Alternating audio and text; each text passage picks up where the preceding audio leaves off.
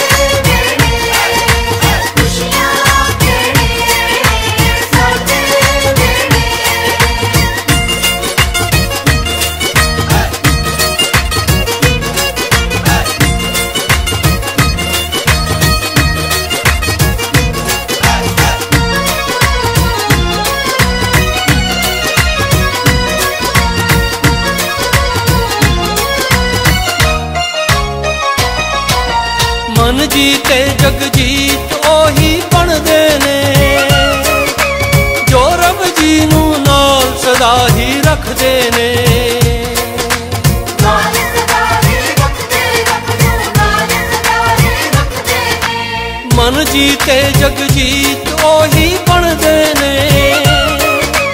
ਜੋ ਰੱਬ ਜੀ ਨੂੰ ਨਾਲ ਸਦਾ ਹੀ ਰੱਖਦੇ ਨੇ।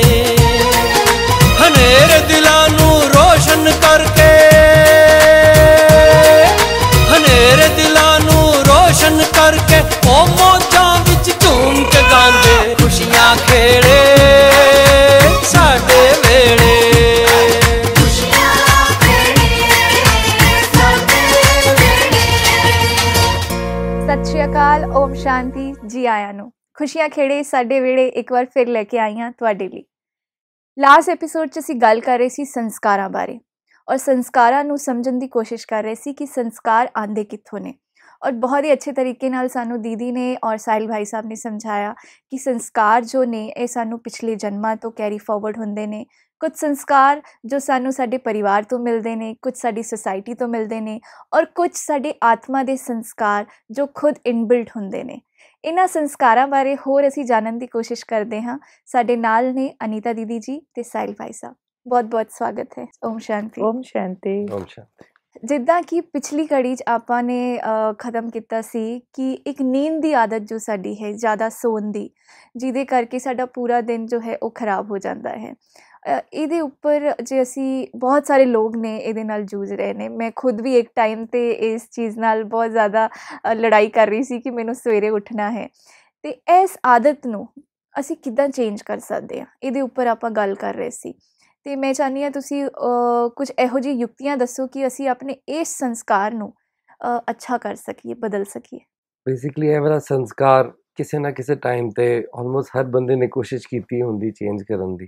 ਹੂੰ ਐਂਡ ਬਹੁਤ ਸਾਰੇ ਪੇਰੈਂਟਸ ਹੈ ਉਹ ਬੱਚਿਆਂ ਨੂੰ ਸਾਲੋ ਸਾਲ ਕਹਿੰਦੇ ਰਹਿੰਦੇ ਜੀ। ਕਿ ਟਾਈਮ ਤੇ ਉਠੋ ਬਿਲਕੁਲ। ਮਗਰ ਨਹੀਂ ਉੱਠ ਪਾਉਂਦੇ। ਸਕੂਲ ਦਾ ਟਾਈਮ ਹੋ ਗਿਆ ਹੈ ਔਰ ਬਿਲਕੁਲ। ਬੱਚਿਆਂ ਨੂੰ ਉਠਾਉਣਾ ਪੈਂਦਾ ਹੈ ਉੱਠਦੇ ਨਹੀਂ। ਬਿਲਕੁਲ। ਸਾਡੇ ਸਕੂਲ ਵਿੱਚ ਉਹ ਸਵੇਰੇ 6 ਵਜੇ ਤੁਹਾਨੂੰ ਸ਼ਾਰਟਸ ਪਹਿਨਾ ਕੇ ਹੂੰ, ਠੰਡੇ ਮੌਸਮ ਪਹਾੜਾਂ ਤੇ ਕਹਿੰਦੇ ਸੀ ਚਲੋ ਐਕਸਰਸਾਈਜ਼ ਕਰੋ। ਹੂੰ, ਹੂੰ, ਇੰਨਾ ਗੂੜਾ ਹੈ ਨੀਂਦ ਦਾ ਤੇ ਆਲਸ ਦਾ ਸੰਸਕਾਰ ਹੁੰਦਾ ਹੈ। ਹੂੰ ਜਿੰਨ ਜੀ ਉਹ ਸਾਰੇ ਬੱਚੇ ਸਕੂਲ ਤੋਂ ਪਾਸ ਆਊਟ ਹੋਏ ਹੂੰ। ਜਾਂ ਫਿਰ ਸੰਡੇ ਦਾ ਦਿਨ ਆਂਦਾ ਸੀਗਾ। ਸਾਰੇ 11 ਵਜੇ ਉੱਠਣਾ ਲੇਟ ਉੱਠਣਾ ਐਂਡ ਸਾਲੋ ਸਾਲ ਫਿਰ ਉਹ ਸੰਸਕਾਰ ਆ ਜਾਣਾ।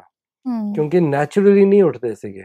ਬਿਲਕੁਲ। ਖੁਸ਼ੀ ਨਾਲ ਨਹੀਂ ਉੱਠਦੇ ਸੀਗੇ। ਬਿਲਕੁਲ। ਚਾਹੁੰਦੇ ਨਹੀਂ ਸੀਗੇ ਅਸੀਂ ਉੱਠਣਾ। ਤੇ ਜਿੰਨਾ ਵੀ ਪੇਰੈਂਟਸ ਕਹਿ ਲੈਣ ਜਿੰਨਾ ਵੀ ਕੋਈ ਕਹਿ ਲੇ ਕਿ ਉਠੋ ਉਹ। ਨਹੀਂ ਉੱਠਦੇ ਸੀਗੇ।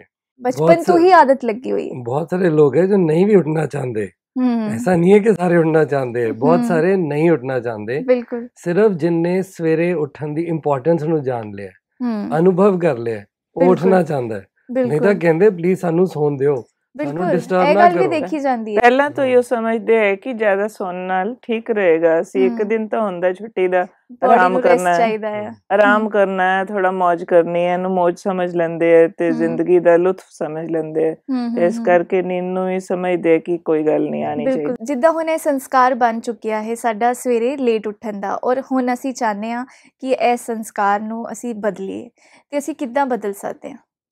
ਇਹਦੇ ਵਾਸਤੇ ਸਭ ਤੋਂ ਪਹਿਲਾਂ ਤੇ ਆਪਣੀ ਚਾਹਨਾ ਨੂੰ ਬਿਲਕੁਲ ਤੇਜ਼ ਅੱਗ ਵਰਗਾ ਕਰ ਲੈਣਾ ਚਾਹੀਦਾ ਹੈ।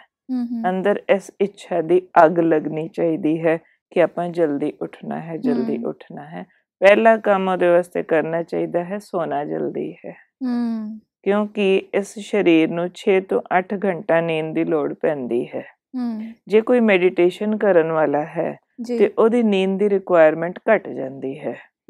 ਜੇ ਕੋਈ ਆਮ ਵਿਚਾਰਾਂ ਵਾਲਾ ਹੈਗਾ ਹੈ ਤੇ ਉਹਨੂੰ 6 ਤੋਂ 8 ਘੰਟਾ ਨੀਂਦ ਦੀ ਲੋੜ ਪੈਂਦੀ ਹੈ। ਕਿਉਂਕਿ ਜਿਹੜੇ ਆਮ ਵਿਚਾਰ ਹੁੰਦੇ ਨੇ ਉਹ ਬਾਡੀ ਨੂੰ ਉਹਨਾਂ ਚਾਰਜ ਨਹੀਂ ਕਰਦੇ ਉਨੀ એનર્ਜੀ ਨਹੀਂ ਦਿੰਦੇ ਤੇ ਨਾਰਮਲ એનર્ਜੀ ਵਾਲਾ ਜ਼ਿਆਦਾ ਨੀਂਦ ਕਰਕੇ ਉਹਦੇ ਨਾਲ એનર્ਜੀ ਲੈਂਦਾ ਹੈ। ਕਿਉਂਕਿ ਜਿਹੜੀ ਕੰਮ ਕਰਦੇ ਸਾਡੀ એનર્ਜੀ ਕੰਜ਼ਿਊਮ ਹੁੰਦੀ ਹੈ ਤੇ ਨੀਂਦ ਕਰਕੇ ਉਸ એનર્ਜੀ ਨੂੰ ਆਪਾਂ ਫਿਰ ਰੀਗੇਨ ਕਰਦੇ ਹਾਂ। ਤੇ ਇਸ ਕਰਕੇ ਕਿਹਾ ਜਾਂਦਾ ਹੈ ਕਿ 6 ਤੋਂ 8 ਘੰਟਾ ਸੋਣਾ ਚਾਹੀਦਾ ਹੈ। ਮੈਡੀਟੇਸ਼ਨ ਕਰਨ ਵਾਲਿਆਂ ਨੂੰ 4 ਤੋਂ 6 ਘੰਟੇ ਦੀ ਨੀਂਦ ਕਾਫੀ ਹੁੰਦੀ ਹੈ ਕਿਉਂਕਿ ਮੈਡੀਟੇਸ਼ਨ ਸਾਡੇ ਬਾਡੀ ਸੈਲਸ ਨੂੰ ਚਾਰਜ ਕਰਦਾ ਰਹਿੰਦਾ ਕਰਦਾ ਰਹਿੰਦਾ। ਕਈ ਵਾਰੀ। ਤੇ ਕਈ ਐਨੇ ਚਾਰਜ ਹੋ ਜਾਂਦੇ ਹੈ ਮੈਡੀਟੇਸ਼ਨ ਨਾਲ ਕਿ 4 ਘੰਟਾ ਨੀਂਦ ਵੀ ਨਾ ਵੀ ਮਿਲੇ ਤਾਂ ਵੀ ਉਹ ਚਾਰਜ ਰਹਿੰਦੇ ਨੇ ਤੇ ਉਹਨਾਂ ਨੂੰ ਕੋਈ ਥਕਾਨ ਤੇ ਕੋਈ ਬਿਮਾਰੀ ਦਾ ਐਕਸਪੀਰੀਅੰਸ ਨਹੀਂ ਹੁੰਦਾ। ਤੇ ਪਹਿਲਾ ਕੰਮ ਆਪਾਂ ਕਰਨਾ ਹੈ ਨੀਂਦ ਦੀ ਆਦਤ ਨੂੰ ਠੀਕ ਕਰਨ ਵਾਸਤੇ ਤੇ ਇੱਕ ਤੇ ਇੱਛਾ ਤੇਜ਼ ਕਰੋ। ਹੂੰ। ਦੂਜੀ ਗੱਲ ਰਾਤੀ ਸੌਣ ਦਾ ਟਾਈਮ ਸਟ੍ਰਿਕਟਲੀ ਚੇਂਜ ਕਰੋ। ਹੂੰ ਬਹੁਤ ਸਟ੍ਰਿਕਟ ਹੋਣਾ ਪੈਣਾ ਆਪਣੇ ਨਾਲ। ਜੇ ਕਈ ਲੋਕੀ ਇਹ ਵੀ ਕਹਿੰਦੇ ਹੈ ਕਿ ਆਪਾਂ ਚਾਹੁੰਦੇ ਹਾਂ ਰਾਤੀ ਜਲਦੀ ਸੋ ਜਾਈਏ ਪਰ ਸਾਨੂੰ ਨੀਂਦ ਨਹੀਂ ਆਉਂਦੀ। ਇਹੋ ਜਿਹੇ ਲੋਕਾਂ ਨੂੰ ਆਪਾਂ ਕਹਿੰਦੇ ਹੁੰਨੇ ਆ ਨੀਂਦ ਆਵੇ ਜਾਂ ਨਾ ਆਵੇ ਤੁਸੀਂ ਲਾਈਟ ਬੰਦ ਕਰਕੇ ਬਿਲਕੁਲ ਸਾਇਲੈਂਟ ਹੋ ਕੇ ਪਰਮਾਤਮਾ ਨੂੰ ਯਾਦ ਕਰਦੇ ਹੋਏ ਤੇ ਬਿਸਤਰ ਤੇ ਲੇਟ ਜਾਓ ਜ਼ਰੂਰ। ਤੇ ਉਸ ਵੇਲੇ ਅੱਖਾਂ ਬੰਦ ਕਰ ਲਓ ਤੇ ਕੁਝ ਚੰਗੇ ਥਾਟਸ ਚਰਨ ਕਰੋ।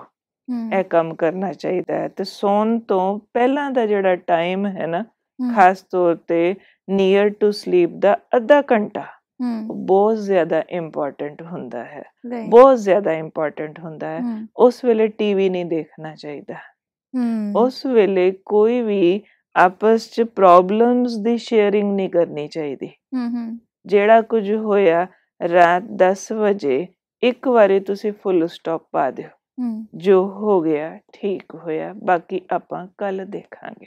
ਚਾਹੇ ਉਹਦੇ 'ਚ ਕੋਈ ਟੈਨਸ਼ਨ ਦੀ ਗੱਲ ਹੋਵੇ ਚਾਹੇ ਸਾਡਾ ਕੋਈ ਕੰਮ ਅਧੂਰਾ ਰਹਿ ਗਿਆ ਪਰ ਹੋਵੇ। ਦੀਦੀ ਜਦੋਂ ਅਸੀਂ ਰਾਤ ਨੂੰ ਸੌਣ ਲੱਗਦੇ ਹਾਂ ਤੇ ਉਹ ਚੀਜ਼ਾਂ ਚੱਲਦੀਆਂ ਜਿਹੜੀਆਂ ਦਿਨ ਭਰ ਚ ਹੋਈਆਂ ਹੁੰਦੀਆਂ। ਐਗਜ਼ੈਕਟਲੀ ਚੱਲਦੀਆਂ ਜ਼ਰੂਰ ਚੱਲਣਗੀਆਂ। ਜੇ ਉਹ ਚੱਲਦੀਆਂ ਰਹਿਣਗੀਆਂ ਤੇ ਸੌਣ ਨਹੀਂ ਦੇਣਗੀਆਂ। ਜੇ ਆਪਾਂ ਲੇਟ ਸੋਵਾਂਗੇ ਤੇ ਫਿਰ ਉਠਾਂਗੇ ਵੀ ਲੇਟ ਸਭ ਤੋਂ ਵੱਡੀ ਗੱਲ ਜੇ ਦਿਮਾਗ 'ਚ ਗੱਲਾਂ ਚੱਲਦੇ ਚੱਲਦੇ ਕੋਈ ਸੋ ਗਿਆ ਤੇ ਉਹਦੇ ਬਾਡੀ ਸੈਲਸ ਰਿਪੇਅਰ ਨਹੀਂ ਹੋਣੇ ਉਹ ਬੀਟਾ ਵੇਵਸ ਵਿੱਚ ਸੋ ਜਾਏਗਾ। ਤੇ ਉਹ ਜਿਹੜੇ ਬਾਡੀ ਸੈਲਸ ਰਿਪੇਅਰ ਨਹੀਂ ਹੋਣੇ ਤੇ ਉਹਨੂੰ ਜ਼ਿਆਦਾ ਨੀਂਦ ਦੀ ਲੋੜ ਪੈਣੀ ਹੈ ਬਾਡੀ ਨੂੰ ਰੈਸਟ ਦੇਣ ਵਾਸਤੇ ਬਾਡੀ ਨੂੰ ਦੁਬਾਰਾ એનર્ਜੀ ਦੇਣ ਵਾਸਤੇ। ਤੇ ਇਸ ਕਰਕੇ ਸੌਣ ਤੋਂ ਪਹਿਲਾਂ ਥੋੜਾ ਜਿਹਾ ਕੁਝ ਲਾਈਨਾਂ ਕੋਈ ਚੰਗੀ ਚੀਜ਼ ਪੜ੍ਹਨ। ਹੂੰ। ਨਾਲੇ ਥੋੜਾ ਮਨ ਨੂੰ ਸਾਇਲੈਂਟ ਕਰਨ ਉਹਦੇ ਵਾਸਤੇ ਮੈਡੀਟੇਸ਼ਨ ਕਰਨ। ਉਹਦੇ। ਵਾਸਤੇ ਹੀ ਆਪਾਂ ਕਿਹਾ ਟੀਵੀ ਦੇਖਦੇ ਤੇ ਪ੍ਰੋਬਲਮ ਡਿਸਕਸ ਕਰਦੇ ਕਦੇ ਵੀ ਨਹੀਂ ਸੋਣਾ ਚਾਹੀਦਾ ਹੈ। ਪੁਰਾਣੇ ਜ਼ਮਾਨੇ 'ਚ ਵੀ ਲੋਕੀ ਇਹੋ ਜਿਹੀ ਗੱਲਾਂ ਦਾ ਧਿਆਨ ਰੱਖਦੇ ਸੀ। ਸਾਡੇ ਇੱਕ ਟੀਚਰ ਸੀਗੇ ਸਾਨੂੰ ਪੜ੍ਹਾਉਂਦੇ ਹੁੰਦੇ ਸੀ। ਉਹ। ਕਹਿੰਦੇ ਸੀ ਸੌਣ ਤੋਂ ਪਹਿਲਾਂ ਕਰਕੇ ਧਰ ਕੇ ਤੇ ਲੈ ਕੇ ਦੇ ਕੇ ਸੋਣਾ ਚਾਹੀਦਾ ਅੱਛਾ। ਚਾਰ ਗੱਲਾਂ ਦੱਸਦੇ ਸੀ। ਅੱਛਾ। ਕਰਕੇ ਧਰ ਕੇ ਲੈ ਕੇ ਦੇ ਕੇ ਅੱਛਾ। ਕਰਕੇ ਮਤਲਬ ਫਰੈਸ਼ ਹੋ ਕੇ। ਅੱਛਾ। ਤੇ ਧਰ ਕੇ ਪਾਣੀ ਨਾਲ ਧਰ ਕੇ ਸੋ। ਅੱਛਾ। ਲੈ ਕੇ ਰੱਬ ਦਾ ਨਾਮ ਲੈ ਕੇ ਤੇ ਕੁੰਡੀ ਦੇ ਕੇ ਸੋ। ਯਾਨੀ ਸਾਰੀਆਂ ਗੱਲਾਂ ਤੋਂ ਨਿਸ਼ਚਿੰਤ ਹੋ ਕੇ ਸੋ। ਕੋਈ ਵੀ ਗੱਲ ਦਾ ਆਪਣਾ ਕੰਮ ਰਿਟੇਨ ਨਹੀਂ ਰੱਖਣਾ ਚਾਹੀਦਾ। ਹਾਂਜੀ। ਜਿਹੜਾ ਤੁਹਾਨੂੰ ਯਾਦ ਕਰਾਂਦਾ ਰਵੇ ਕਿ ਇਹ ਬਾਕੀ ਹੈ। ਯਾਨੀ। ਤੁਸੀਂ ਰਾਤ ਦਾ ਮਤਲਬ ਹੈ ਇੱਕ ਦਿਨ ਦਾ ਐਂਡ ਕਰ ਰਹੇ ਹੂੰ। ਤੇ ਐਂਡ ਵਾਲੀ ਫੀਲਿੰਗਸ ਲੈ ਕੇ ਸੋ ਤੇ ਸਭ ਤੋਂ ਵੱਡੀ ਗੱਲ ਇਹਦੇ ਚ ਹੁੰਦੀ ਹੈ ਕਿ ਆਪਣੇ ਥਾਟਸ ਨੂੰ ਵਾਈਂਡ ਅਪ ਵੀ ਕਰਨਾ ਹੈ ਆਪਾਂ ਤੇ ਥਾਟਸ ਨੂੰ ਪਿਓਰ ਵੀ ਕਰਨਾ ਹੈ ਉਸ ਵੇਲੇ। ਫਿਲਟਰ ਵੀ ਕਰਨਾ ਹੈ। ਤੇ ਉਹ ਜਿਹੜਾ ਸੌਣ ਤੋਂ ਪਹਿਲਾਂ ਦਾ ਅੱਧਾ ਘੰਟਾ ਹੋਵੇ ਨਾ ਹਰ ਇੱਕ ਜਿਹਨੂੰ ਵੀ ਰੱਬ ਮੰਨਦੇ ਨੇ ਯਾਦ ਕਰਦੇ ਨੇ ਉਹਨਾਂ ਨੂੰ ਯਾਦ ਕਰਨ ਤੇ ਇੱਕ ਦੂਜੇ ਨੂੰ ਇਹ ਆਦਤ ਪਾ ਦੇਣ ਕਿ ਸੌਣ ਤੋਂ ਪਹਿਲਾਂ ਤੱਕ ਗੱਲਾਂ ਕਰਦੇ ਕਰਦੇ ਨਹੀਂ ਸੋਣਾ ਚਾਹੀਦਾ। ਬਿਲਕੁਲ ਠੀਕ ਹੈ ਕਿਉਂਕਿ ਸ਼ੁਰੂ ਵਿੱਚ ਜਿਨ ਜੇ ਤੁਹਾਨੂੰ ਕਿਹਾ ਕਿ ਹਰ ਬੰਦਾ ਬਹੁਤ ਸਾਰੇ ਯੰਗਸਟਰਸ ਅੱਜਕੱਲ ਬਹੁਤ ਲੇਟ ਉੱਠਦੇ ਹੈ। ਐਂਡ ਅੱਜਕੱਲ ਇਹ ਪ੍ਰੋਬਲਮ ਬਹੁਤ ਜ਼ਿਆਦਾ ਐਡ ਆਨ ਹੋ ਗਈ ਹੈ। ਕਿਉਂਕਿ ਜਿਨ ਤੁਸੀਂ ਕਿਹਾ ਕਿ ਰਾਤ ਨੂੰ ਕੋਈ ਬਹੁਤ ਐਕਸਾਈਟਿੰਗ ਕਿ ਬਹੁਤ ਇਹੋ ਜਿਹੀ ਗੱਲਾਂ ਨਾ ਕਰੋ। ਮਗਰ ਇੱਕ ਮੇਜਰ ਬਿਮਾਰੀ ਜੋ ਪੈ ਗਈ ਹੈ ਉਹ ਹੈਗੀ ਕਿ ਜਿਹੜੇ ਮੋਬਾਈਲ ਤੇ WhatsApp ਤੇ Facebook ਦੇ ਮੈਸੇजेस ਆਉਂਦੇ ਹੈ। ਹੂੰ ਰਾਤੀ ਹੂੰ ਆਉਂਦੇ ਤੇ ਦਿਨ ਵੇਲੇ ਹੈ। ਪਰ ਰਾਤੀ ਬੰਦਾ ਫ੍ਰੀ ਹੁੰਦਾ ਉਹ ਨਾਲ ਦੇ ਆਪਣੀ ਵਾਈਫ ਨਾਲ ਗੱਲਬਾਤ ਨਹੀਂ ਕਰ ਰਿਹਾ ਹੋਵਾਗਾ। ਦੋਨੋਂ ਆਪਣੇ ਫੋਨ ਤੇ ਲੱਗੇ ਹੋਣਗੇ। ਬਿਲਕੁਲ। ਹੁਣ ਜਦ ਤੁਸੀਂ ਉਹ ਮੈਸੇजेस ਦੇਖ ਰਹੇ ਹੋ ਤੁਸੀਂ ਉਹ ਮੈਸੇजेस ਨੂੰ ਇੰਜੋਏ ਕਰ ਰਹੇ ਹੋ ਐਕਚੁਅਲੀ ਐਂਡ ਸਾਡੇ ਦਿਮਾਗ ਦਾ ਇੱਕ ਰਿਵਾਰਡ ਸਿਸਟਮ ਹੁੰਦਾ ਹੈ। ਮਤਲਬ ਜਦ ਵੀ ਤੁਸੀਂ ਕੁਝ ਅੱਛਾ ਅਨੁਭਵ ਕੀਤਾ ਕੁਝ ਨਵਾਂ ਦੇਖਿਆ ਕੁਝ ਨਵਾਂ ਸੁਣਿਆ ਤੇ ਸਾਡੇ ਦਿਮਾਗ ਵਿੱਚ ਜਿੰਜਿਕ ਡੋਪਾਮਾਈਨ ਰਿਲੀਜ਼ ਹੁੰਦੀ ਹੈ। ਜਦੋਂ ਡੋਪਾਮਾਈਨ ਰਿਲੀਜ਼ ਹੁੰਦੀ ਹੈ ਤੁਸੀਂ ਉਹ ਚੀਜ਼ ਦੁਬਾਰਾ ਕਰਨਾ ਚਾਹੁੰਦੇ ਹੋ। ਤੁਹਾਨੂੰ ਨੀਂਦ ਆ ਰਹੀ ਹੈ। ਮਗਰ। ਫਿਰ ਵੀ ਤੁਸੀਂ ਅਗਲਾ ਮੈਸੇਜ ਦੇਖਣਾ ਚਾਹੁੰਦੇ ਹੋ। ਬਿਲਕੁਲ। ਇਹ ਸਾਈਕਲ ਹੈ। ਸੋ ਹੁਣ ਇਹ ਐਕਟੀਵਿਟੀ ਹੋਰ ਜ਼ਿਆਦਾ ਖਰਾਬ ਹੋ ਗਈ ਹੈ। ਹੂੰ ਪਹਿਲੇ ਇੰਨੀ ਨਹੀਂ ਹੁੰਦੀ ਸੀ। ਪਹਿਲੇ ਠੀਕ ਹੈ ਤੁਹਾਡਾ ਜੇ ਟੀਵੀ ਦੂਜੇ ਕਮਰੇ 'ਚ ਹੈ ਤੁਸੀਂ। ਆਪਣੇ ਕਮਰੇ ਚਲੇ ਗਏ ਤੇ ਠੀਕ ਹੈ ਕੁਝ ਵੀ ਨਹੀਂ ਹੈ। ਹੂੰ ਹੁਣ ਤੁਹਾਡੇ ਹੱਥ ਵਿੱਚ ਸਭ ਤੋਂ ਜ਼ਿਆਦਾ ਐਕਸਾਈਟਿੰਗ ਇੱਕ ਚੀਜ਼ ਆ ਸਿਰਾਣੇ ਗਈ ਹੈ। ਮੋਬਾਈਲ ਰੱਖਿਆ ਹੁੰਦਾ ਹੈ ਉਹ ਬਸ ਟੂ ਟੂ ਵਜਿਆ ਕਿ ਅੱਧੀ ਨੀਂਦ ਚੋਂ ਹੀ ਉੱਠ ਕੇ ਹਾਂ ਪਹਿਲਾਂ ਮੋਬਾਈਲ ਹਾਂ। ਚੈੱਕ ਕਰਨਾ ਹੈ ਕੀ ਹਾਂ। ਮੈਸੇਜ ਆਇਆ ਹੈ। ਸੋ ਦਿਨ ਦੀਦੀ. ਨੇ ਕਿਹਾ ਬਿਲਕੁਲ ਠੀਕ ਕਿ ਜੇ ਇਸ ਚੀਜ਼ ਨੂੰ ਸਮਝਣਾ ਪਏਗਾ ਹੂੰ ਕਿ ਜੇ ਤੁਸੀਂ ਇਹੋ ਜਿਹਾ ਗੈਜਟ ਜਾਂ ਇਹੋ ਜਿਹੀ ਐਕਸਾਈਟਿੰਗ ਕੋਈ ਚੀਜ਼ ਨਹੀਂ ਕੀਤੀ। ਜਾਂ ਦੀਦੀ ਨੇ ਕਿਹਾ ਇੱਕ ਫਿਕਸ ਟਾਈਮ ਤੇ ਲਾਈਟਸ ਆਫ ਕਰ ਦਿਓ ਹੂੰ। ਇਹਦਾ ਮਤਲਬ ਹੈ ਕਿ ਮੂਡ ਬਣਾ ਦਿਓ ਮਤਲਬ ਸੌਣ ਦਾ। ਡਿਸਪਲਿਨ ਤਾਂ ਪਹਿਲਾਂ ਖੁਦ ਹੀ ਲੈ ਕੇ ਆਉਣਾ ਚਾਹੀਦਾ। ਹੈ। ਕਿ ਆਪਾਂ 10 ਵਜੇ ਤੋਂ ਬਾਅਦ WhatsApp ਨਹੀਂ ਦੇ। ਹੂੰ। ਜੇ ਆਪਾਂ ਫੀਡ ਕਰ ਲਓ ਬਸ ਬਿਲਕੁਲ ਫੀਡ ਕਰ ਲੋ ਤੇ ਆਪਣੇ ਨਾਲ ਬਹੁਤ ਸਟ੍ਰਿਕਟ ਹੋਣਾ ਪੈਣਾ ਹੈ। ਆਪਣਾ ਟੀਚਰ ਆਪ ਬਣਨਾ ਪੈਣਾ ਹੈ। ਜੇ ਆਪਾਂ ਰਾਤੀ ਇਸ ਤਰ੍ਹਾਂ ਦੇ ਐਕਸਾਈਟਿੰਗ ਥਾਟਸ ਵਿੱਚ ਸੋ ਗਏ ਤੇ ਉਹਦੇ ਚ ਕਰਿਓਸਿਟੀ ਵੀ ਹੈਗੀ ਹੈ ਤੇ ਉਹਦੇ ਚ ਨਵੀਂ ਨਵੀਂ ਇਨਫੋਰਮੇਸ਼ਨ ਵੀ ਹੈਗੀ ਹੈ ਫਿਰ ਤੁਸੀਂ ਚਾਹੇ 9 ਵਜੇ ਵੀ ਬਿਸਤਰ ਤੇ ਪੈ ਗਏ ਤੇ ਸਵੇਰੇ 7-8 ਵਜੇ ਤੋਂ ਪਹਿਲਾਂ ਨਹੀਂ ਉੱਠ ਸਕੋਗੇ ਕਿਉਂਕਿ ਉਹ ਐਕਸਾਈਟਮੈਂਟ ਤੁਹਾਨੂੰ ਰੈਸਟ ਲੈਣ ਦੇਗੀ ਨਹੀਂ ਤੇ ਮਾਈਂਡ ਨੂੰ ਰੈਸਟ ਦੇਣ ਦੀ ਲੋੜ ਪੈਂਦੀ ਹੈ ਉਸ ਵੇਲੇ। ਰਾਈਟ ਦੂਜਾ ਉਹਦੇ ਵਿੱਚ ਜਿਹੜੀ ਸਕਰੀਨ ਦੀ ਐਮਿਸ਼ਨ ਹੈਗੀ ਹੈ ਬਿਲਕੁਲ। ਉਹ ਵੀ ਤੁਹਾਨੂੰ ਕਾਫੀ ਦੇਰ ਤੱਕ ਸੌਣ ਨਹੀਂ ਦਿੰਦੀ। ਹੂੰ ਹੂੰ ਸੋ ਉਹ ਵੀ ਇਫੈਕਟ ਕਰਦੀ ਹੈ ਤੁਹਾਡੀ ਸਲੀਪ ਨੂੰ। ਹੂੰ ਹੂੰ ਤੁਹਾਡੇ ਪੈਡ ਦੀ ਜਾਂ ਫੋਨ ਦੀ। ਹੂੰ। ਮਤਲਬ ਅਸੀਂ ਇੰਨੀਆਂ ਛੋਟੀਆਂ-ਛੋਟੀਆਂ ਗੱਲਾਂ ਨੂੰ ਇਗਨੋਰ ਕਰਦੇ ਹਾਂ। ਔਰ ਉਹਦੇ ਬਾਰੇ ਸੋਚਦੇ ਨਹੀਂ ਆ ਕਿ ਉਹਦਾ। ਸਾਡੇ ਉੱਪਰ ਕਿੰਨਾ ਦੁਸ਼ਪਰਿਣਾਮ ਸਾਡੇ ਉੱਪਰ। ਹੋ। ਰਿਹਾ ਉਹਦਾ। ਸਿਰਫ ਇੱਕ ਸ਼ਿਕਾਇਤ ਕਰ ਦਿੰਨੇ। ਹਾਂ। ਕਿ। ਅਸੀਂ ਬਹੁਤ ਜ਼ੋਰ ਲਾਣੇ ਹਾਂ ਸਾਡੇ ਤੋਂ ਉੱਠਿਆ ਨਹੀਂ ਜਾਂਦਾ। ਪਰ ਐਨੇ ਖਾਲੀ ਸ਼ਿਕਾਇਤ ਕਰਨ ਨਾਲ ਗੱਲ ਨਹੀਂ ਬਣਦੀ ਆਪਣੇ ਤੇ ਕੰਮ ਕਰਨ ਦੀ ਲੋੜ ਪੈਂਦੀ ਹੈ ਇਸ ਨਾਲ ਬਹੁਤ ਚੀਜ਼ਾਂ ਜੁੜੀਆਂ ਹੋਈਆਂ। ਇਹ ਸੋਚ ਲੈਣਾ ਚਾਹੀਦਾ ਹੈ ਕਿ ਜੋ ਮੈਂ ਕਰਨਾ ਚਾਹਾਂ ਮੇਰੇ ਕੀਤਿਆਂ ਹੀ ਹੋਣਾ ਹੈ। ਇਹਦੇ ਦੂਜੇ ਕਿਸੇ ਦੀ ਹੈਲਪ ਕੰਮ ਨਹੀਂ ਕਰਨੀ। ਕਈ ਲੋਕੀ ਸਾਡੇ ਤੋਂ ਜਦੋਂ ਪੁੱਛਣ ਆਉਂਦੇ ਹਨ ਉਹਨਾਂ ਦਾ ਪੁੱਛਣ ਦਾ ਰਵਈਆ ਐਦਾਂ ਦਾ ਹੁੰਦਾ ਹੈ ਕਿ ਆਪਾਂ ਕੋਈ ਛੂ ਮੰਤਰ ਕਰਾਂਗੇ ਤੇ ਸਵੇਰੇ ਉਹਨਾਂ ਦੀ ਨੀਂਦ ਖੁੱਲ ਜਾਣੀ ਸੋ ਸਾਡੇ ਸਿਰ ਤੇ। ਹੱਥ ਰੱਖ ਦਿਓ ਕੋਈ। ਕੁੱਟੀ ਦੇ ਦਿਓ ਐਦਾਂ ਦੀ ਬਸ। ਸਵੇਰੇ ਆਪਾਂ ਐਦਾਂ ਕਰੀਏ ਤੇ ਉਠਿਆ ਜਾਵੇ ਨਹੀਂ। ਆਪਾਂ ਵਿਗੜੇ ਵੀ ਆਪ ਹਾਂ ਤੇ। ਸੁਧਰਨਾ ਵੀ ਆਪ ਹੈ ਤਾਲਾ ਬੰਦ ਵੀ ਆਪ ਹੀ ਕੀਤਾ ਤੇ ਆਪਾਂ ਖੋਲਣਾ ਵੀ ਆਪ ਹੀ ਹੈਗਾ ਹੈ ਤੇ ਇੱਕ ਡਿਟਰਮੀਨੇਸ਼ਨ ਦੀ ਲੋੜ ਹੈ ਇਹਦੇ ਵਿੱਚ ਉਹ ਡਿਟਰਮੀਨੇਸ਼ਨ ਬਹੁਤ ਕੰਮ ਕਰਦਾ ਹੈ ਇੱਕ ਇਹਦੇ ਵਿੱਚ ਇਹ ਵੀ ਹੈ ਕਿ ਬੰਦੇ ਸੋਨਾ ਵੀ ਹੈ। ਹਮ। ਲਾਈਟ ਆਫ ਵੀ ਕਰਦੇ ਹੈ ਮਗਰ ਨੀਂਦ ਨਹੀਂ ਆਉਂਦੀ। ਤੇ ਬਿਲਕੁਲ ਜਿਨ ਦੀਦੀ ਨੇ ਕਿਹਾ ਕਿ ਤੁਸੀਂ ਲਾਈਟ ਆਫ ਕਰੋ ਵਗੈਰਾ ਬੇਸਿਕਲੀ ਕੋਈ ਵੀ ਹੈਬਿਟ ਦੀ ਫਾਰਮੇਸ਼ਨ ਜਾਂ ਸੰਸਕਾਰ ਦੀ ਫਾਰਮੇਸ਼ਨ ਨੂੰ। ਜੇ ਤੁਸੀਂ ਇੱਕ ਰਿਚੁਅਲ ਬਣਾ ਦਿਓ ਕਿ ਇਹਦੇ ਬਾਅਦ ਮੈਂ ਇਹ ਕਰਨਾ ਹੈ ਇਹਦੇ ਬਾਅਦ ਮੈਂ ਇਹ ਕਰਨਾ ਹੈ ਤੇ ਫਿਰ ਉਹ ਹੈਬਿਟ ਫਾਰਮੇਸ਼ਨ ਬਣਨ ਦੇ ਚਾਂਸਸ ਜ਼ਿਆਦਾ ਹੁੰਦੇ ਹੈ ਜਿਸ ਤਰ੍ਹਾਂ ਕਿ ਹੁਣ ਲੋਕਾਂ ਨੂੰ ਆਦਤ ਹੈ ਕਿ ਤੁਸੀਂ ਫੇਸਬੁੱਕ ਜਦ ਤੱਕ ਇੰਨਾ ਨਾ ਦੇਖ ਲਓ ਕਿ ਤੁਸੀਂ ਥੱਕ ਨਾ ਜਾਓ ਤੁਹਾਡੀ ਅੱਖਾਂ ਨਾ ਪੇਨ ਕਰ ਰਹੇ ਹੋ ਤਦ ਤੱਕ ਨੀਂਦ ਨਹੀਂ ਆਉਂਦੀ। ਬਿਲਕੁਲ। ਸੋ ਇਸ। ਤਰ੍ਹਾਂ ਤੁਸੀਂ ਜਿਸ ਜਿਸ ਬੰਦੇ ਨੂੰ ਆਦਤ ਹੈ ਜਿੰਜ ਇੱਕੋ ਸੇਫ ਇਸ ਬੈੱਡ ਤੇ ਸੌਣ ਦੀ। ਉਹਨਾਂ ਨੂੰ ਨਵੀਂ ਜਗ੍ਹਾ ਜੇ ਤੁਸੀਂ ਲੈ ਜਾਓ ਉਹਨਾਂ ਨੂੰ ਨੀਂਦ ਨਹੀਂ ਆਉਂਦੀ। ਸੋ ਇੱਕ ਪੂਰਾ ਰਿਚੁਅਲ ਬਣ ਜਾਣਾ ਚਾਹੀਦਾ ਕਿ ਇੰਨੇ ਵਜੇ ਮੈਂ ਇਹ ਕਰਨਾ ਹੈ। ਉਹਦੇ ਬਾਅਦ ਮੈਂ ਸਪੋਜ਼ ਹੈ 뮤직 ਸੁਣਨਾ ਹੈ। ਜਾਂ ਸਪੋਜ਼ ਜਿਨ ਦੀਦੀ ਨੇ ਕਿਹਾ ਕਿ ਉਸ ਟਾਈਮ ਕੁਝ ਅੱਛਾ ਪੜ੍ਹ ਲਿਆ। ਇੱਕ ਕੁਝ ਰੀਡ ਕਰਨਾ ਵੀ ਇੱਕ ਬੜੀ ਅੱਛੀ ਐਕਟੀਵਿਟੀ ਹੈ ਸੌਣ ਤੋਂ ਪਹਿਲੇ। ਕਿਉਂਕਿ। ਹੌਲੀ ਹੌਲੀ ਤੁਹਾਡੇ ਥਾਟਸ ਜਿਹੜੇ ਸਲੋ ਹੋ ਜਾਂਦੇ ਆ ਤੇ ਜੇ ਤੁਸੀਂ ਕੁਝ ਐਕਸਾਈਟਿੰਗ ਕਰ ਰਹੇ ਹੋ ਬਹੁਤ ਗੱਲਾਂ ਕਰ ਰਹੇ ਹੋ ਤੁਹਾਡੇ ਥਾਟਸ ਫਾਸਟ ਹੋ ਜਾਂਦੇ ਆ। ਹਮ, ਸੋ ਇਹੀ ਇੱਕ ਆਪਣੇ ਸੌਣ ਦਾ ਜੋ ਵੀ ਤੁਹਾਡਾ ਤਰੀਕਾ ਹੈ ਜਿਸ ਤਰ੍ਹਾਂ ਤੁਸੀਂ ਰੋਜ਼ ਤੁਹਾਨੂੰ ਅੱਛੀ ਨੀਂਦ ਆਉਂਦੀ ਹੈ। ਉਸ ਰਿਚੁਅਲ ਨੂੰ ਫੋਲੋ ਕਰੋ ਤੇ ਉਸ ਰਿਚੁਅਲ ਨੂੰ ਤੋੜੋ ਨਾ। ਮਤਲਬ ਸਵੇਰੇ ਜੇ ਤੁਸੀਂ ਛੇਤੀ ਉੱਠਣਾ ਚਾਹੁੰਦੇ ਹੋ ਉਹਦੀ ਤਿਆਰੀ ਰਾਤ ਨੂੰ ਹੀ ਕਰ ਲਓ। ਰਾਤ ਨੂੰ ਹੀ ਕਰਨੀ। ਚਾਹੀਦੀ ਹੈ। ਕਈਆਂ ਨੂੰ ਇਹ ਵੀ ਹੁੰਦਾ ਹੈ ਕਿ ਦਿਨੇ ਕੋਈ ਗੱਲ ਇਹੋ ਜੀ ਹੋ ਗਈ ਜਿਹੜੀ ਮਨ ਚ ਚੁਭੀ ਜਾ ਰਹੀ ਹੈ ਤੇ ਤਾਂ ਵੀ ਉਹਨਾਂ ਨੂੰ ਨੀਂਦ ਨਹੀਂ ਆਉਂਦੀ। ਤੇ ਕਿਸੇ ਕਿਸੇ ਦਾ ਇਹ ਵੀ ਹੁੰਦਾ ਹੈ ਕਿ ਦਿਨੇ ਕੋਈ ਬਹੁਤ ਚੰਗੀ ਗੱਲ ਹੋ ਗਈ ਤੇ ਉਹਦੀ ਖੁਸ਼ੀ ਵੀ ਉਹਨਾਂ ਨੂੰ ਸੌਣ ਨਹੀਂ ਦਿੰਦੀ। ਤੇ ਇਹ ਦੋਨਾਂ ਗੱਲਾਂ ਵਾਸਤੇ ਇੱਕ ਬਹੁਤ ਸੋਹਣਾ ਤਰੀਕਾ ਹੈ ਜਿਹੜਾ ਬਹੁਤ ਕਾਰਗਰ ਸਾਬਿਤ ਹੁੰਦਾ ਹੈ। ਆਪਾਂ ਵੀ ਕਈ ਵਾਰੀ ਉਹਨੂੰ ਪ੍ਰੈਕਟਿਸ ਕਰਦੇ ਹਾਂ। ਸੌਣ ਤੋਂ ਪਹਿਲਾਂ ਰੱਬ ਦੇ ਨਾਂ ਇੱਕ ਚਿੱਠੀ ਲਿਖ ਦਿਓ। ਅਰੇ ਵਾਹ! ਜੋ ਤੁਹਾਡੇ ਦਿਲ 'ਚ ਹੈਗਾ ਹੈ। ਕਿਸੇ ਦਾ ਗਿਲਾ ਕੋਈ ਸ਼ਿਕਵਾ ਕੋਈ ਚੁਬਨ ਕੋਈ ਪੇਨ ਹੋ ਰਿਹਾ ਹੈ ਤੇ ਪਰਮਾਤਮਾ ਨੂੰ ਆਪਣਾ ਪਿਤਾ ਮੰਨਦੇ ਹੋਏ ਇਹ ਪਰਮ ਪਿਤਾ ਤੁਸੀਂ ਮੇਰੇ ਮੀਤ ਹੋ ਤੁਸੀਂ ਮੇਰੇ ਰਕਸ਼ਕ ਹੋ ਤੁਸੀਂ ਮੇਰੇ ਸੁਆਮੀ ਹੋ ਮੈਂ ਤੁਹਾਡਾ ਛੋਟਾ ਜਿਹਾ ਬੱਚਾ ਹੈਗਾ ਹਾਂ। ਅੱਜ ਐਦਾਂ ਹੋਇਆ ਐਦਾਂ ਹੋਇਆ ਐਦਾਂ ਹੋਇਆ ਇਹ ਜੋ ਵੀ ਮੇਰੀ ਜ਼ਿੰਦਗੀ ਦੀ ਨਾਵ ਹੈਗੀ ਹੈ ਤੁਸੀਂ ਸੰਭਾਲੋ। ਮੈਂ। ਤੁਹਾਡਾ ਛੋਟਾ ਬੱਚਾ ਤੁਹਾਡੀ ਗੋਦ 'ਚ ਆ ਕੇ ਤੁਹਾਡੀ ਗੋਦੀ ਦੇ ਬਿਸਤਰੇ ਤੇ ਪੈ ਰਿਹਾ ਹਾਂ। ਤੁਸੀਂ ਮੈਨੂੰ ਥਪਕੀ ਦੇ ਕੇ ਸੁਆ ਦਿਓ। ਤੇ ਐਦਾਂ ਦੀ ਜੇ ਆਪਾਂ ਇੱਕ ਕਨਵਰਸੇਸ਼ਨ ਪਰਮਾਤਮਾ ਨਾਲ ਕਰਦੇ ਹਾਂ ਤੇ ਥੋੜਾ ਜਿਹਾ ਰਿਟਰਨ ਕਰਦੇ ਹਾਂ ਤੇ ਲਿਖਣ ਵੇਲੇ ਕੀ ਹੁੰਦਾ ਹੈ ਕਿ ਥਾਟ ਜ਼ਿਆਦਾ ਫੋਕਸ ਹੁੰਦਾ ਹੈ। ਬਿਲਕੁਲ ਕੀ ਲਿਖਣਾ ਹੈ ਕੀ ਐਕਿਊਰੇਟ ਲਿਖਦਾ ਹੈ ਮਨੁੱਖ ਸੈਂਟੈਂਸ ਗਲਤ ਨਹੀਂ। ਕਰਦਾ। ਤੇ ਉਹ. ਇੱਕ ਚਿੱਠੀ ਪਰਮਾਤਮਾ ਦੇ ਨਾਲ ਲਿਖ ਕੇ ਤੇ ਹਜ਼ਾਰਾਂ ਭਾਈ ਭੈਣਾਂ ਦਾ ਇਹ ਅਨੁਭਵ ਹੈ ਕਿ ਜਦੋਂ ਇਹ ਲਿਖਦੇ ਨੇ ਤੇ ਲਿਖਦੇ ਲਿਖਦੇ ਐਦਾਂ ਹੋ ਜਾਂਦਾ ਜਿਸ ਤਰ੍ਹਾਂ ਆਪਣੇ ਦਿਮਾਗ ਤੋਂ ਕੁਇੰਟਲੋਂ ਭਾਰ ਉਤਰ ਗਿਆ ਹੋਵੇ।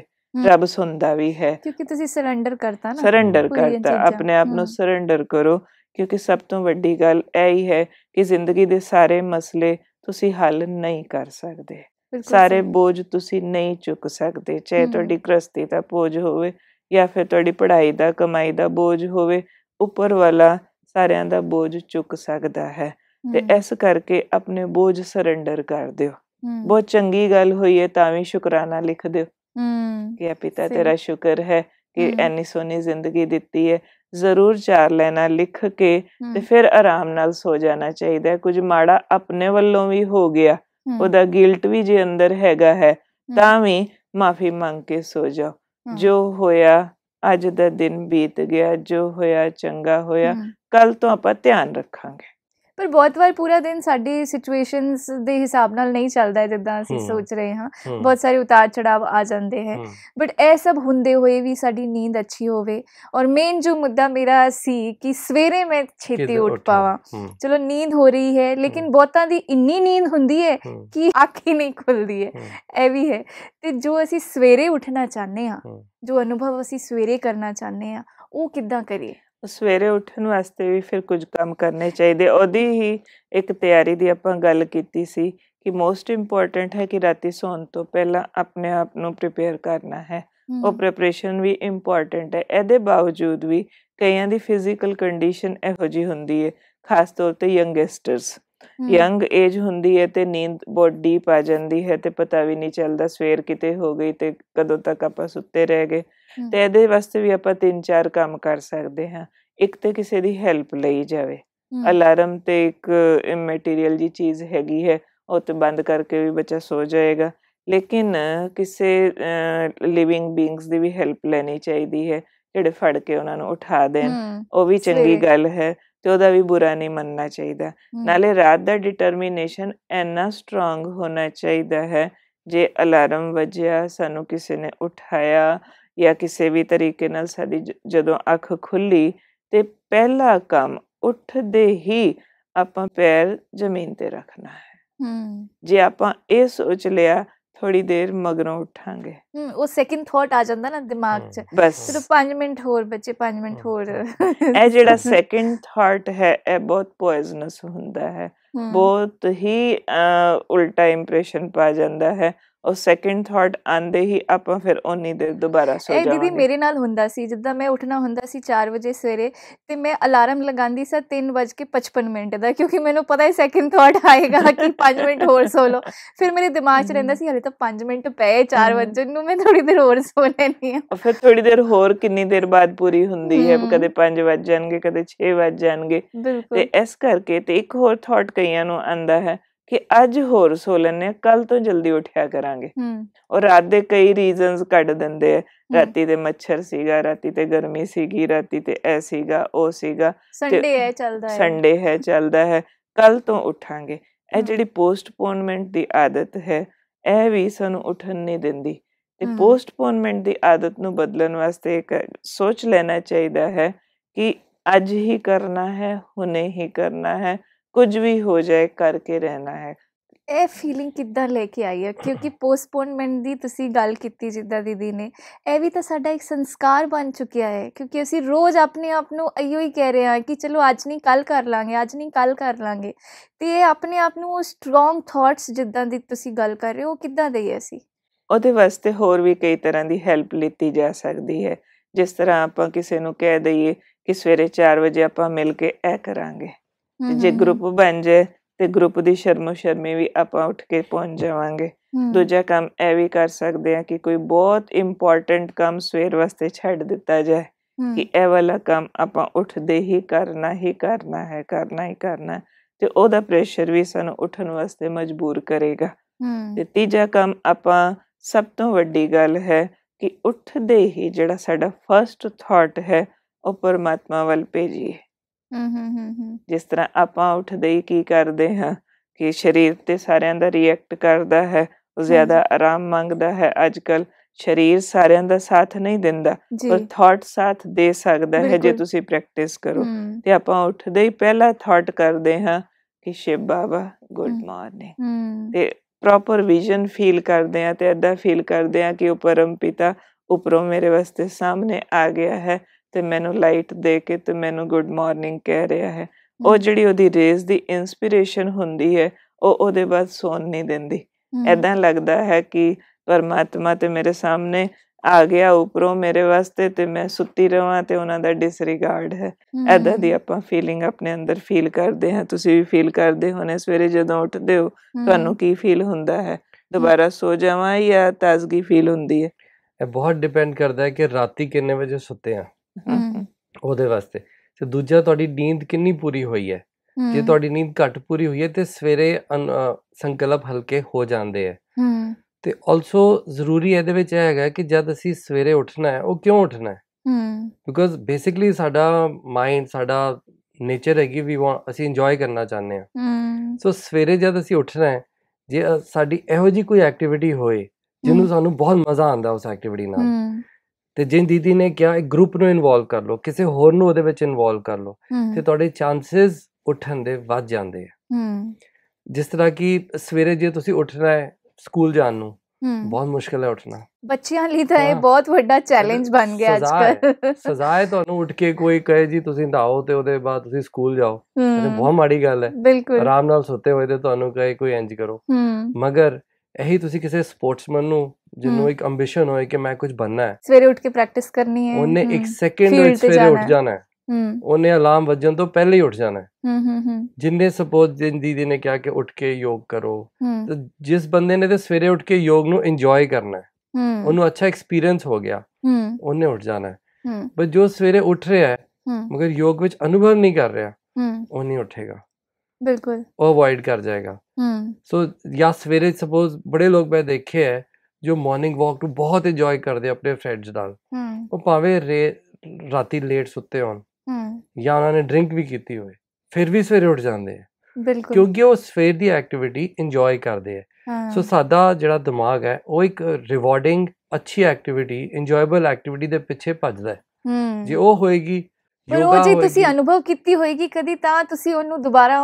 ਲਿਆਣਾ ਚਾਹੁੰਦੇ ਹੋ ਕਿ ਰੋਜ਼ ਇਹੋ ਹੋਵੇ। ਉਹ ਐਕਟੀਵਿਟੀਜ਼ ਸਵੇਰੇ ਤੁਸੀਂ ਲਾਈਨ ਅਪ ਕਰੋ। ਜਿਹੜੀ ਐਕਟੀਵਿਟੀ ਤੁਸੀਂ ਬਹੁਤ ਇੰਜੋਏ ਕਰਦੇ ਹੋ ਰਾਈਟ ਫਿਰ ਉੱਠਣ ਦੇ। ਅਗੇਨ ਚਾਂਸਸ ਦੀਦੀ ਅੱਜ ਜਿੰਨੀਆਂ ਵੀ ਗੱਲਾਂ ਤੁਸੀਂ ਦਸੀਆਂ ਸਾਹਿਲ ਭਾਈ ਨੇ ਦਸੀਆਂ ਬਹੁਤ ਅਲੱਗ-ਅਲੱਗ ਯੁਕਤੀਆਂ ਦਸੀਆਂ ਜੇ ਮੈਂ ਖੁਦ ਵੀ ਪਰਸਨਲੀ ਇਹਨਾਂ ਨੂੰ ਟਰਾਈ ਕਰਾਂਗੀ ਔਰ ਮੈਂ ਚਾਹਨੀ ਹਾਂ ਸਾਡੇ ਸਾਰੇ ਦਰਸ਼ਕ ਇਹ ਯੁਕਤੀਆਂ ਨੂੰ ਟਰਾਈ ਕਰਨ। ਅੱਜ ਅਸੀਂ ਇੱਕ ਸੰਸਕਾਰ ਲੈ ਕੇ ਉਹਦੇ ਉੱਪਰ ਪਰਿਵਰਤਨ ਕਰਨ ਦੀ ਕੋਸ਼ਿਸ਼ ਕੀਤੀ ਹੈ। ਇਹੋ ਜਿਹੇ ਹੋਰ ਬਹੁਤ ਸਾਰੇ ਸੰਸਕਾਰ ਨੇ ਜੋ ਸਾਡੀ ਜ਼ਿੰਦਗੀ 'ਚ ਜੁੜੇ ਹੋਏ ਨੇ ਔਰ ਬਹੁਤ ਰਿਜਿਡ ਔਰ ਜ਼ਿੱਦੀ ਹੋ ਗਏ ਨੇ। ਉਹਨਾਂ ਨੂੰ ਹੋਰ ਬਦਲਣ ਦੀ ਕੋਸ਼ਿਸ਼ ਕਰਾਂਗੇ ਆਪਾਂ ਅਗਲੀ ਕੜੀ 'ਚ। ਤੁਹਾਡਾ ਬਹੁਤ ਬਹੁਤ ਧੰਨਵਾਦ। ਓਮ ਓਮ ਸ਼ਾਂਤੀ। ਸ਼ਾਂਤੀ ਜਿੱਦਾਂ ਕਿ ਅੱਜ ਅਸੀਂ ਇੱਕ ਸੰਸਕਾਰ ਲੈ ਕੇ ਆਏ ਸਵੇਰੇ ਉੱਠਣ ਦਾ, ਜਿਹਦੇ ਕਰਕੇ ਸਾਡੇ ਬੱਚੇ ਵੀ ਅੱਜ ਜੂਝ ਰਹੇ ਨੇ ਔਰ ਬੜੇ ਲੋਕ ਵੀ ਇਹਦੇ ਤੋਂ ਬਹੁਤ ਜ਼ਿਆਦਾ ਪਰੇਸ਼ਾਨ ਨੇ।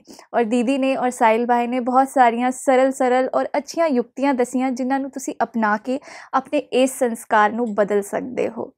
ਅਸੀਂ ਕੋਸ਼ਿਸ਼ ਕਰਾਂਗੇ ਇਹੋ ਜਿਹੇ ਹੋਰ ਸੰਸਕਾਰਾਂ ਨੂੰ ਲੈ ਕੇ ਆਈਏ ਔਰ ਤੁਹਾਨੂੰ ਵਧੀਆ ਵਧੀਆ ਯੁਕਤੀਆਂ ਦੱਸੀਏ ਕਿ ਕਿਵੇਂ ਤੁਸੀਂ ਆਪਣੇ ਬੁਰੇ ਸੰਸਕਾਰਾਂ ਨੂੰ ਅੱਛੇ ਸੰਸਕਾਰਾਂ 'ਚ ਬਦਲ ਸਕਦੇ ਹੋ। ਅਗਲੀ ਕੜੀ 'ਚ ਫੇਰ ਮਿਲਾਂਗੇ। ਤਬ ਤੱਕ ਹੱਸਦੇ ਰਹੋ, ਵਸਦੇ ਰਹੋ। ਓਮ ਸ਼ਾਂਤੀ।